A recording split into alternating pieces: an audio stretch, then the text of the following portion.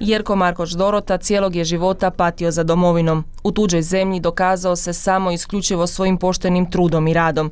Stekao je mnoga materijalna bogatstva, ali uvijek je nešto nedostajalo. Čežnja za korijenima, obitelji, prijateljima nije jenjavala vremenom, već naprotiv, bila je sve jača i glasnija. U Švedskoj jednom prilikom naišao na uvalu koja ga je podsjetila na njegov primošten i vraćao je se godinama kako bi barem malo utažio čežnju za domom. Po povratku u rodni kraj, u koautorstvu sa Brankom Gracinom, napisao je knjigu Sudbonosni korak.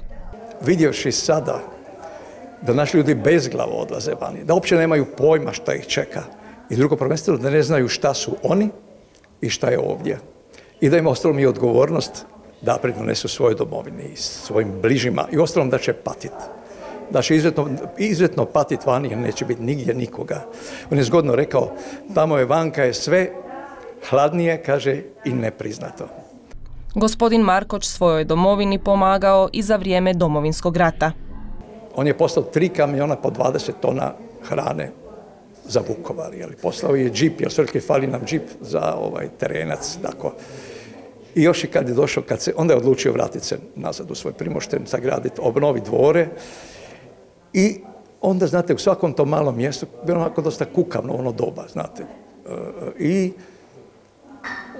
Tamo mi je jedna institucija koja zove glazba, jeli, koja uvijek svira. I kad se umire, i kad se vjenčava i tako dalje. Kad...